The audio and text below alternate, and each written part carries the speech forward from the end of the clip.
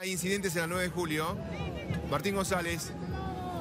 Guillermo, hay incidentes, detenciones y corridas con efectivos de la policía de la ciudad que llegaron aquí a la esquina en la que estamos nosotros, Avenida de Mayo y 9 de julio. Un grupo, como podés ver, con chalecos azules y detrás de ellos la Guardia de Infantería. Y no sabemos por qué empezaron a rodear a cierto grupo. Y fíjate, detuvieron a varios y allá están Ahí avanzando. están las corridas. Avanza infantería. Bueno, aquí ya estábamos viendo otra cosa.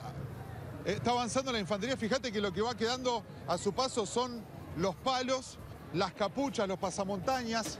Evidentemente detrás de donde estaba la primera parte de la marcha había otro grupo que se estaba preparando. Fíjate que están juntando ahí los palos que fueron quedando tirados. Bueno, ya Ahí están está. volando piedras a la altura de Salta y Avenida de Mayo. O sea, tenían, la, Piedras, palazos. tenían palos, piedras y se estaban poniendo había- pasamontañas. Sí, eh, vos sabés que, eh, Guille, fue un, un movimiento muy extraño, nos llamó la atención.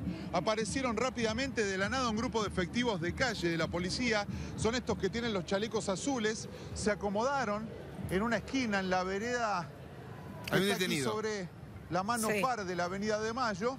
Sí, hay varios detenidos, ¿eh? Hay varios detenidos y en un determinado momento fueron encima de la gente que, claro, no los estábamos viendo nosotros porque estaban ubicados como en una segunda línea, pero esa segunda línea ya tenía palos, tenía pasamontañas y contra ellos fueron. Y a partir de allí las detenciones, ¿eh? ¿Esos palos tienen como, como cuerdas, Unas como para colgarlas en la muñeca? Hay un detenido. Claro, exactamente, para que queden atados en la muñeca. Vamos a avanzar un poquito más. Aquí fue, fue la policía juntando todos los palos, los estábamos viendo recién. Y fíjate que todavía allí en la calle Salta está avanzando la Guardia de Infantería. Hay más detenidos. En la medida en la que vamos avanzando hay más, más detenidos. Pero han juntado, te digo, unos 50 palos y pasamontañas.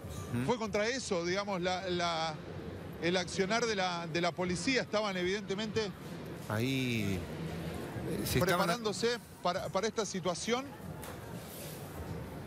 Bueno, aquí ya encontramos botellas, palos, como te digo, el más detenido, allí se escuchan balas de goma. Aquí hay un hombre detenido.